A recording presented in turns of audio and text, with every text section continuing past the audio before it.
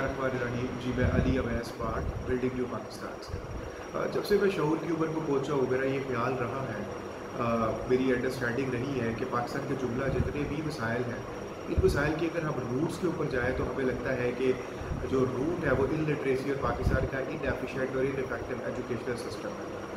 इस हवाले से आज हम एक दुनिया का बेहतरीन एजुकेशनल सिस्टम डिस्कस करेंगे और देखेंगे कि हम उससे क्या सीख सकते हैं और उसको यहाँ पे अप्लाई करके पाकिस्तान को कैसे आगे लेके जा सकते हैं। अब फिनलैंड के एजुकेशनल सिस्टम की बात करेंगे। छोटा सा यूरोप का मुल्क है छः मिलियन की आबादी है। इसको दुनिया का बेस्ट कंट्री दुनिया का खुशहाल तरीन मुल्क करार दिया गया 2018 से लेकर 2021 तक। पिस्सा टेस्ट एक होता है, जिसमें पूरी दुनिया से स्टूडेंट्स पार्टिसिपेट करते हैं। 2000 से लेकर 2018 तक इसके स्टूडेंट्स उस पर पहले नंबर के ऊपर आते हैं उस पर डोमिनेट करते हैं। ये सारी चीज़ें हैं। तो आइए देखते हैं कि इस एजुकेशनल सिस्टम में ऐसी क्या ख़ास चीज़ें हैं जिससे हम सीख सकते हैं और उसे पाकिस्तान को आगे लेके जा सकते हैं। पहली बात तो ये कि यहाँ पे जो बच्चा है वो उसके स्कूल जाने की उम्र सात साल है। सात साल से पहले वो बच्चे को स्कूल नहीं जाते देते उसकी वजह ये है कि सात साल से पहले का जो उम्र होती है, उसके अंदर बच्चे का दिमाग अब ग्रो पूरा कर रहा होता है डेवलप कर रहा होता है। अगर इस टाइप के ऊपर स्ट्रेसफुल सिचुएशन हो, वो ओवरबर्डन हो, बच्चा या ओवरवेल्ड हो तो उस बच्चे की नफ्सियात और शख्सियत को नुकसान पहुँचता है। तो सात साल की उम्र तक उस बच्चे के पेरेंट्स जो है उसको इनफॉर्मल तरीके से उसकी तरबियत और एजुकेशन करते हैं। स्टोरी टेलिंग के थ्रू डिफरेंट एक्टिविटीज़ के थ्रू डिफरेंट सिचुएशंस के थ्रू इस तरह उसकी तरबियत करते हैं। दूसरा यहाँ पे सारे इदारे जो है, वो गवर्नमेंट के एजुकेशनल इंस्टीट्यूशन जो है, वो गवर्नमेंट के इंस्टीट्यूशन हैं।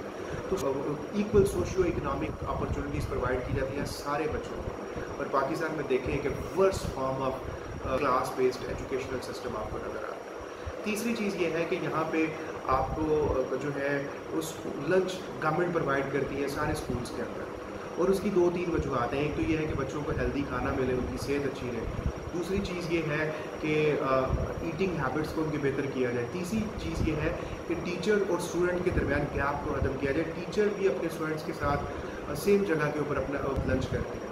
तो उस, इससे उनके दरमियान एक बॉन्डिंग डेवलप होती है, ये सारी चीज़ें होती हैं। अगर आपको पता है, पाकिस्तान में अभी तक कहा जाता है कि टीचर जो है, वो वही है जिससे बच्चे डरते हो थर थर कांपते हो उससे खौफ खाते हो ये सारी चीज़ें। ये खौफ के माहौल में कभी भी कोई बच्चा ठीक तरह से पूरे पोटेंशियल के ऊपर नहीं सीख सकता। चौथी चीज़ अगर हम इसमें बैक कर, करें कि इन्होंने बीन बैग्स जो बच्चों के बैठने के लिए रखे हुए खास तरह के सोफेज होते हैं ये बड़े ज़्यादा कंफर्टेबल होते हैं। तो उनको लगता है कि इससे बच्चों की जो लर्निंग है वो ट्वेंटी परसेंट ज़्यादा होती है। बच्चों को किसी भी तरह का होमवर्क नहीं दिया जाता। होमवर्क नहीं दिया जाता और टोटल जो बच्चों ने दिन में पढ़ना होता है वो छः घंटे पढ़ना होता है। और 45 मिनट्स का एक लेक्चर होता है, उसके बाद 15 मिनट की ब्रेक होती है, क्योंकि आपको पता है कि इंसान का जो कंसंट्रेशन लेवल है, वो 45 मिनट्स है। उसके बाद आप कुछ भी पढ़ते हैं याद करते हैं, वो कुछ भी आपको याद और रिटेन नहीं रहता। तो कोई होमवर्क नहीं दिया जाता, सिर्फ़ छः घंटे पढ़ाया जाता है एक दिन एक दिन में नौ बजे से लेकर दो बजे तक, और हर 45 मिनट्स के बाद 15 मिनट की ब्रेक होती है। तो वो इस तरह से चीज़ों को लेके चलते तो इससे ये पता चलता है कि लंबा टाइम जिस तरह पाकिस्तान में है इस इस, इस इन चीज़ों से फ़र्क नहीं पड़ता।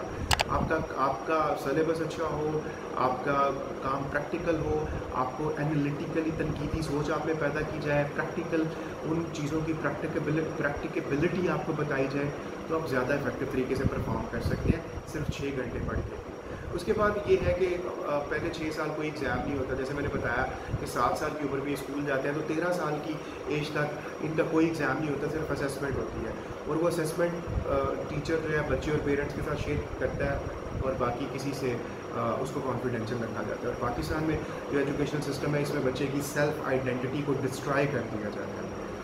उसके बाद हम बात करते हैं टीचर सिलेक्शन का क्राइटेरिया बड़ा इंटरेस्टिंग है। पहली चीज़ तो ये है कि हाईली पे हाईली पेड और हाईली रिगार्डेड सेशन है हाईली रिगार्डेड प्रोफेशन है दूसरी चीज़ इसके अंदर यह है कि टीचर को हायर करने के लिए सिर्फ़ उसकी डिग्रीज को नहीं देखा जाता। ये भी देखा जाता है कि क्या वो एक अच्छा उस्ताद बनने के गट्स क्वालिटीज़ क्रीडेंशियल उसके अंदर मौजूद हैं या नहीं। है तीसरी चीज़ देखा जाता है कि वो उसको जो टीचर है, उसकी मॉरल वैल्यूज़ कितनी हाई है, उसका करेक्टर कितना स्ट्रॉन्ग है।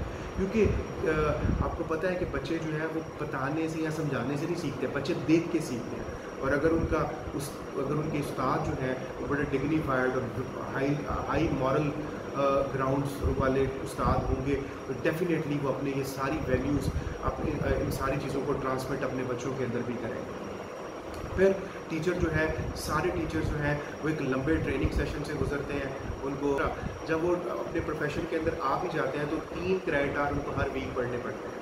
ताकि वो जो जनरेशन गैप है और जो उन सब्जेक्ट्स के अंदर नई चीज़ें आ रही हैं, उन उन उस हवाले से टीचर को अपडेट रखा जा सकता है इसके बाद ये है कि बच्चों को सेक्स एजुकेशन दी जाती है।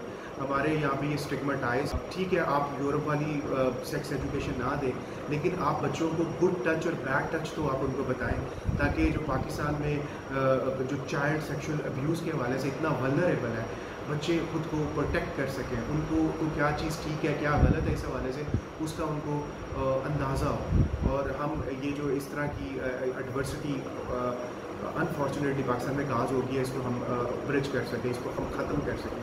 फिर ये है फिनिश स्टूडेंट हेल्थ सर्विस इन लोगों ने बनाई हुई है, जहाँ पे बच्चों की फ़िज़िकल हेल्थ और मेंटल हेल्थ के ऊपर बड़ा काम किया जाता है। पाकिस्तान में आप मेंटल हेल्थ तो चेंज आएँगे, यहाँ पे तो मेंटल हेल्थ जो है वो है ही स्टिग्माटाइज है।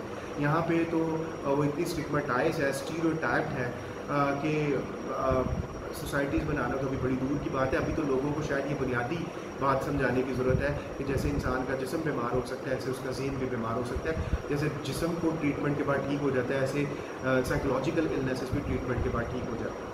आखिर में जो टेक अवे मैसेज मैं देना चाहता हूँ ये है कि अगर हमने हमने बम्स के ऊपर, फौजों के ऊपर मिल्ट्रियों के ऊपर एमिनेशंस के ऊपर वेपनरी वेपन्स के ऊपर आर्टिलरी को बड़ा खर्च कर लिया और दुनिया की आठवीं, दसवीं फौज और ये सारा कुछ करके देख लिया, पाकिस्तान सेल्फ सस्टेनेबल नहीं हो सका, अभी भी वनरेबल सिचुएशन है।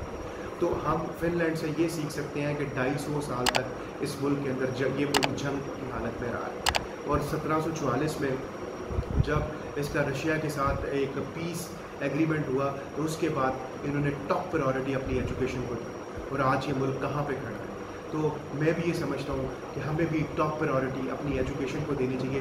तभी हम आगे जा सकेंगे, तभी हम सस्टेन कर सकेंगे, तभी हम आपको खुद को बचा सकेंगे। वरना अगर तीन करोड़ बच्चा स्कूलों से बाहर होगा ह्यूमन डेवलपमेंट इंडेक्स के ऊपर हम दुनिया में ज़मीन के साथ लगे हुए होंगे तो फिर हम कभी भी सेल्फ सस्टेनेबल नहीं हो सकेंगे। पाकिस्तान कभी भी तरक्की नहीं कर सकेगा। उम्मीद करता हूँ कि आपको ये वीडियो इंटरेस्टिंग लगी होगी। अगर आप इस तरह की मज़ीद इन्फॉर्मेटिव वीडियोज़ को सुनना चाहते हैं, जिससे हम पाकिस्तान को बदल बदल सकते हैं तो बिल्डिंग न्यू पाकिस्तान को ज़रूर सब्सक्राइब करें। Thank you very much